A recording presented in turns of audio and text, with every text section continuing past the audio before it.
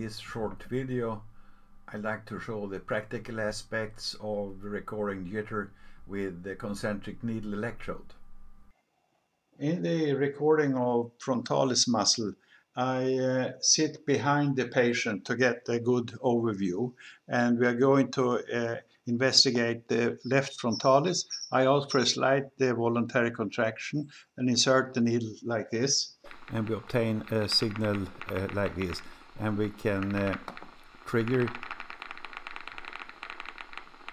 on the highest peak here to get the stable nice signal and we can uh, move the delay. We can also trigger on the first signal the smaller one there but that will also introduce other other signals so in order to get the clean signal I trigger on the highest we see the jitter to the right. And a good trick is to superimpose the recordings during uh, uh, the uh, collection of data. Then we see the jitter much better. But when we are going to look at individual traces then we uh, separate them in raster mode. I usually use uh, uh, 10 or 15 in this case it is 10 we superimpose 10 and 10 and we have raster 10 and 10 then we stop here and we read the jitter. That is 14.9 uh, microseconds. We insert the needle uh, at another position in the muscle ask the patient for a slight voluntary contraction and here's a triple potential coming. It has relatively high recruitment threshold. There are other motor units that are active in the background. But now we have uh, about 75 discharges and we can stop and get the uh, the jitter there with uh, automatic trigger on the second potential and a jitter of 19.5 and uh, 31.8 and we get another position in the muscle with uh, uh, many components but three are uh, dominating here and we get uh, many signals right away. We're triggering on the first one and we see the jitter on number two and number 3 and we can stop here. Here we can, if we wish, change the trigger to the second one or the third one but um, this was the the best. We move the needle again and here we get a, a signal with a very high innovation rate. It's, it's going and now we have more than 100 discharges and this is a jitter. There is an inflection point here at a, a, low part of the signal so this can still be accepted and if I superimpose you see as a good trigger and this part the main part of the signal shows parallel lines here so uh, this is quite okay I move the needle and here we get a, a good recording and we have now about uh, 100 discharges and can stop the recording. This big one was a disturbance, but you see the, uh, the nice recordings uh, are here and the jitter is 10.7. Then I'm going to show the electrical stimulation. I, I move the stimulator a little. I ask the patient to help me right for this demo. And here you see that, that the lower part of the frontalis muscle is moving.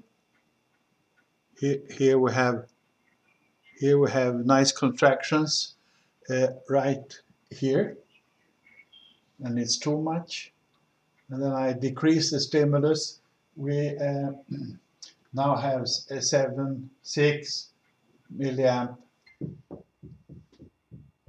And then guided by the position of the uh, testing uh, stimulator, I now fix uh, a permanent stimulator. It can be either a monopolar and a surface electrode, it can be a bar electrode, or like in this case, uh, stick-on electrodes. I uh, increase the, the stimulus until I can see a twitching part of the muscle again and and here we, we, we, we see a twitching part here in the um, and I, I, insert the needle into the uh, twitching uh, part and, and start to to record.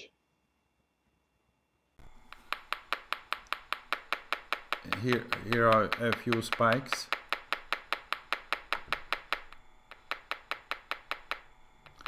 And when I have uh, very little stimulation, they come and go together. So these uh, two come from the same uh, axon. And you can see to the right here that they move, uh, move together. So it's a jitter from uh, both of them.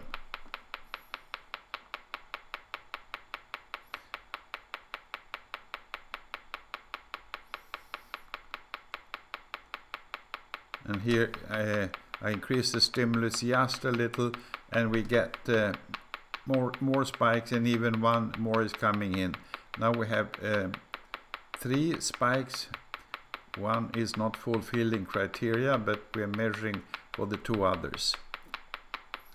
And then I increase the stimulus a little and see whether this large one is becoming more constant. Yes it did.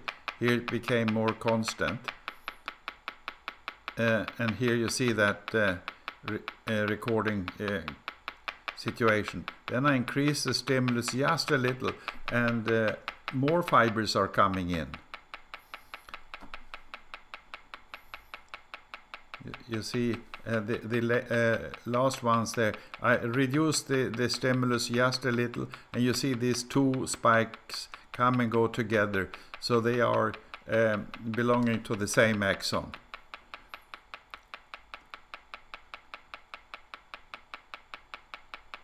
And then I, I increase the stimulus a little. I can change the, the sweep speed to, to, to show individual spike. I increase the stimulus just a little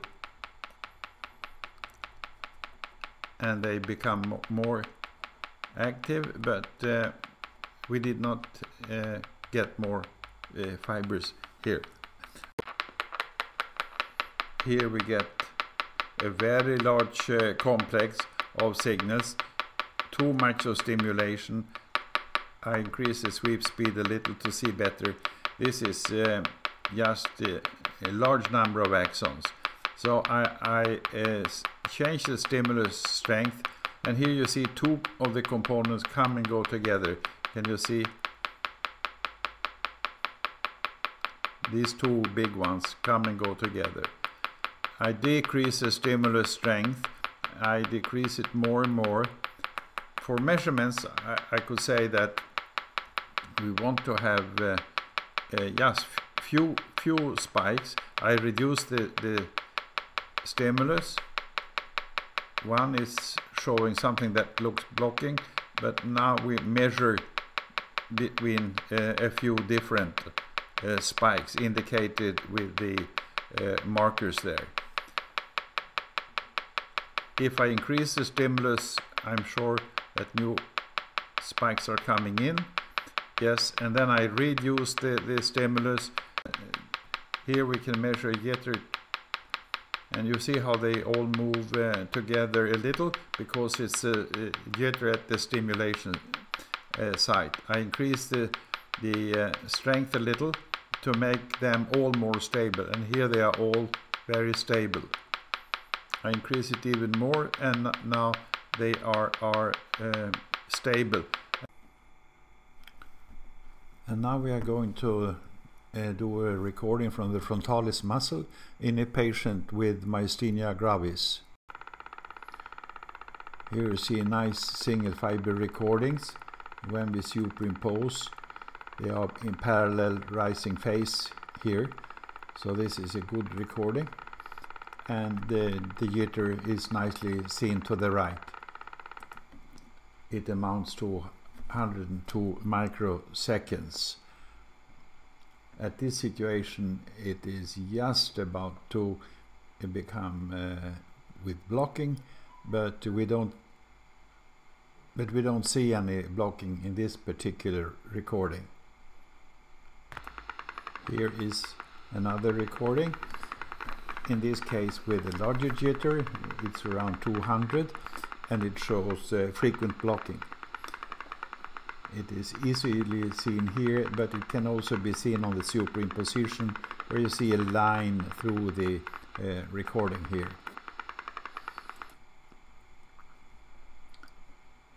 Want to see the, the frequency of the blocking? We can uh, browse through the the whole uh, whole recording in this way. And this blocking is not due to false trigger because the first signal here is absolutely constant in in shape. So it's the second potential that is really um, missing. Here's another recording with a large jitter I trigger on number two and we see the uh, jittering signal. But there are no blocks. You see no line through it here and when we inspect the, signals we don't see any blocking uh, at all. In this uh, case the jitter is uh, 85 microseconds. Here is uh, a recording with a high firing rate and the jitter is, is quite uh, large. And you see uh, the behavior and you see the behavior here. The jitter is uh, about 100 microseconds. Here's multiple recording with uh, complex uh, uh, signals. And we trigger on the uh, second one. And when I stop it keeps the second. We could have triggered on the first one but then the summated jitter is much larger and uh, therefore we, we go over and trigger on the uh, second one. This jitter is 87 and 19 and 36 so in the same motor unit you can have different uh, abnormalities among the motor place. And now we are recording from the brachioradialis muscle uh, with a slight voluntary contraction triggering on the second signal. Here's something we call flip-flop. And you see the jitter uh, there. And then I move the needle again. Here's another. The last one is not a pure signal so we cannot use this that was a, a combined summated signal. I move the needle and we see an early small component.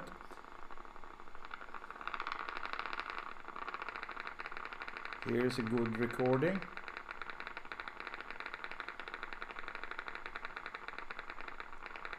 And now we have 100 uh, we, we stop recording and I try to find a new position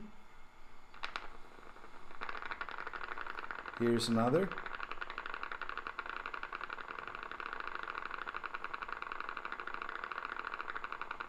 The trigger is a little too low so I increase I lift it up a little.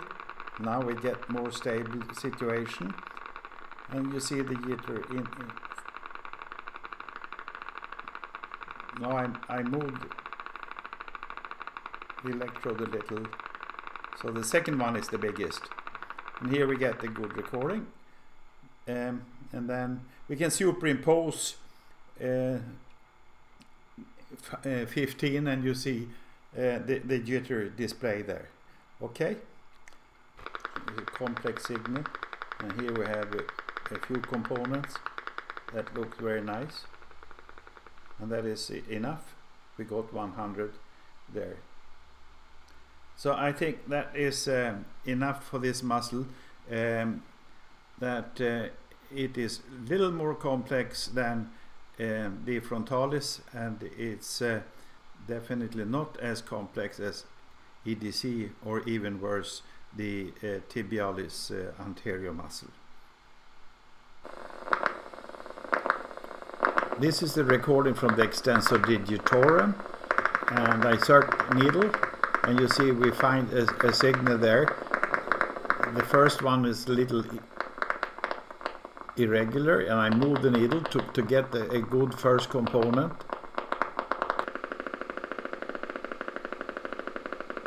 Stop.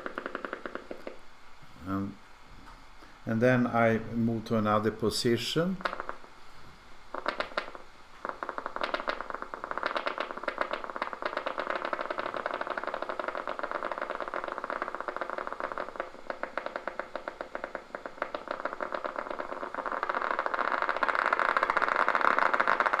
And here we have one early component that is very low in amplitude. And I move the needle and we can get it up. And we are now recording on a good signal. Stop. We move to another position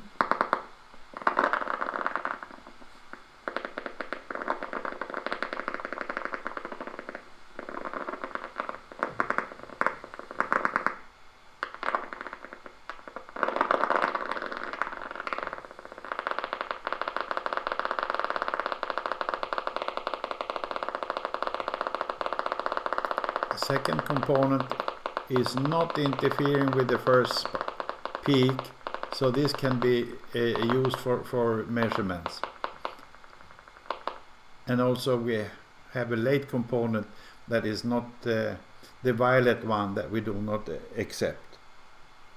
This is a recording from the tibialis anterior muscle in a patient with a history of L5 radiculopathy some years ago it will probably show neurogenic changes and this is a demo then of the the uh, neurogenic jitter that we will uh, see.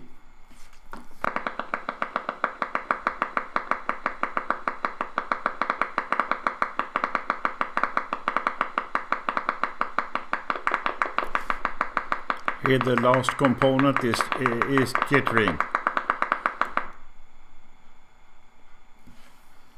And we can see the superimposition uh, at the bottom of, of all 100 and here is the superimposition of only 15 at a time and we can move that uh, through through the collected uh, area of signals.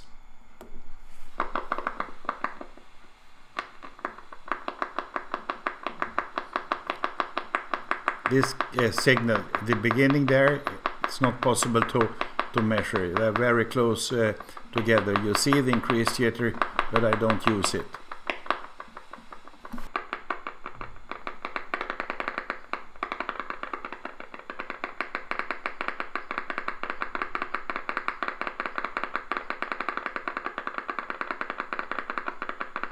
There's one late component coming in.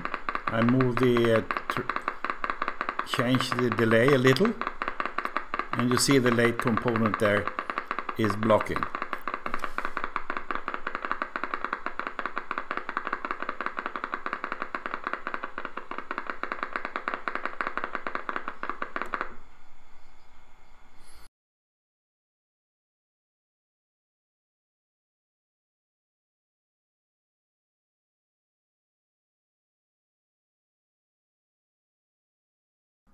This was the end of the practical demonstration of the use of concentric needle electrode for jitter measurements. It's important that we collect high quality data uh, for analysis and do not rely on post-processing editing. Regarding post-processing, it is uh, not it's not feasible to make post-processing for the stimulated uh, SFEMG. All the quality control must be made during ongoing stimulation with changing uh, uh, stimulus strength and so on. For voluntary uh, SFEMG, uh, then the post-processing is mainly uh, aiming at uh, looking at uh, signal quality by browsing uh, through the whole recording. Sometimes uh, special uh, tricks must be made and I will show you a few examples of that. With voluntary activation, there are a few occasions where it's obvious to get rid of some of uh, the signals and I'm going to show you a few of those examples. Here's a recording and we it, it trigger and the signal is coming down here. And as, as you see, there was an uh, electrode movement seen at the bottom of the dot plot here. Uh, and this area is obviously uh, erroneous and should be removed. the jitter now with all dots included is 27.4 but if we restrict the acceptance area uh, going here then we see that the jitter is uh, somewhat lower. And in the uh, signal we see this uh, phenomenon you see in the middle part here. And then I go down and you see the the transition to the other here right in this area. So this is removed and we uh, uh, report this jitter value. And here is an editing feature that is probably the most common namely when we have the signals like this and we uh, uh ha have this situation and we want to remove one trace uh, the whole trace. Here all traces are nice but for the demonstration I press the trace it becomes blue which means not included. And I can also remove just one dot. I go to that dot and uh, right click and get it blue. The other dots are still active. Normally the SFEMG recording should be made with very slight contraction here we have one with uh, quite strong contra contraction and therefore other motor units are disturbing. Here we see such a situation where we have activity from adjacent motor units. These are not included in the analysis. As you can see, there are no indicators, no dots at the top of these signals. So they are not included. Uh, um, and we can also, if we wish, just for for the clarity to get the signals nice we can cut these signals like I did here the jitter value does not change here is 28 29.2 and here is about the same. It was 29.7 here. So uh, and I can do that same thing here. We have a jitter of 30.2 and if I remove these signals is uh, 30.1 now it became a little smaller. This uh, type of editing is not uh, uh, necessary since the signals are not included. And uh, Uh, it is not worthwhile spending time on such uh, things here's a situation where the visual detection can be very important. You hear a complex signal here and in the overview you can see a, a fourth component and then we need to change the, the sweep speed in order to uh, allow that to be seen in the screen. And we can move it over here. This has a delay of 15 or more milliseconds.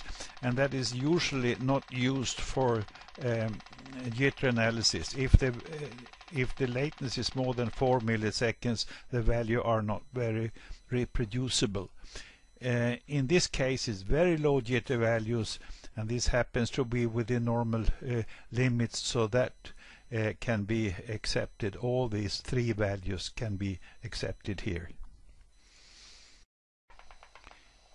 here is a situation where uh, the uh, visual analysis after the recording is necessary. Here I can see this is a patient with myasthenia and you see uh, that the second component is missing now and then and that is a real neuromuscular blocking. If the trigger level had been a little lower I can reduce this to a lower uh, part here then we all of a sudden start to trigger on other signals for example here this small signal here is the triggering and this looks like a block but that's that's not true since we did not have uh, any reference uh, potential and it seems as blocking through here and you can from this picture differentiate the real and the technical block but here it is very easy to detect. Now we are going to uh, look at the recording from tibial anterior in a slightly neurogenic muscle. Here is a recording and we uh, uh, have multiple spikes and we trigger on the first uh, low one and you see that the dots are aligned here. When I stop the recording for analysis then it happens to be that the third spike is triggering and that is based on the fact that um, with triggering on uh, different spikes the jitter value for the others will be higher or lower because the, the triggering spike has also a jitter.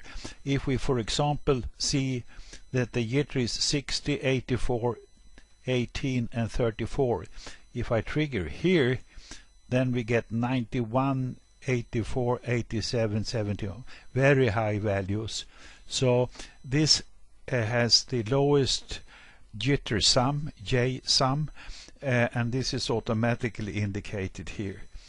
Uh, this was only a demonstration of that particular feature it has uh, nothing really to do with editing. So once again, do not rely on getting a good quality by post-processing. Um, normally the quality is de defined already during the recording itself so that post-processing editing should be kept to a minimal uh, level. Thank you very much for watching.